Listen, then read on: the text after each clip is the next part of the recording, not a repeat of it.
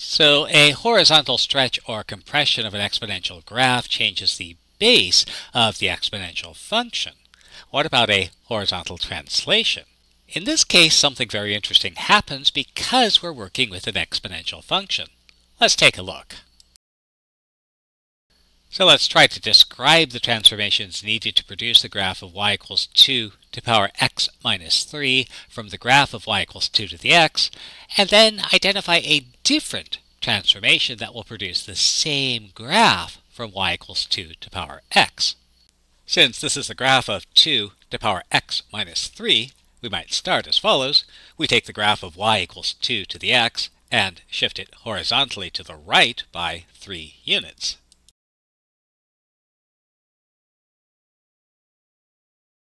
Now, what happens if we apply our rule of exponents? We note that y equals 2 to power x minus 3. So remember the product rule for exponential expressions.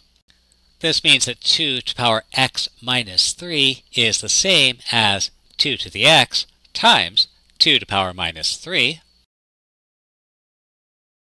And we can simplify that to y equals 1 8 2 to power x. And so this means we could also take the graph of y equals 2 to power x and apply a vertical stretch by a factor of 1 8. And so there's two ways we can produce this graph. We can take our graph of y equals 2 to power x and shift it horizontally to the right by 3 units. Or we can take the graph of y equals 2 to the power x and apply a vertical stretch by a factor of 1 eighth.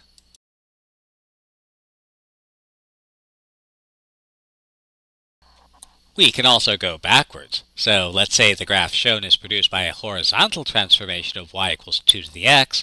Let's find the equation and describe the transformation. Now, a horizontal translation will produce the graph of y equals 2 to power x minus h. Now, we see the graph goes through the point 0, 4. This means that x equals 0, y equals 4 makes the equation true. And that means we can solve it for h, giving us h equals negative 2. And so the equation is y equals 2 to power x plus 2, and the graph is produced by a horizontal translation of 2 units to the left. So we can take our graph of y equals 2 to the x, and shift it horizontally by 2 units to the left,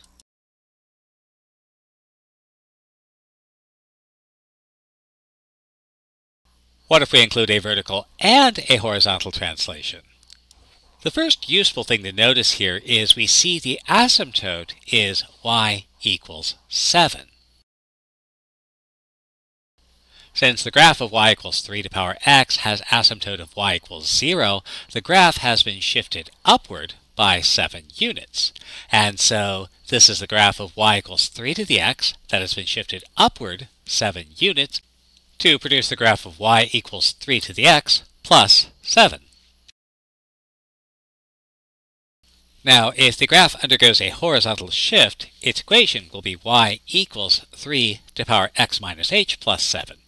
Since the graph goes through 5, 10, we know that x equals 5, y equals 10 makes this equation true, so we'll substitute those values in and solve for h, getting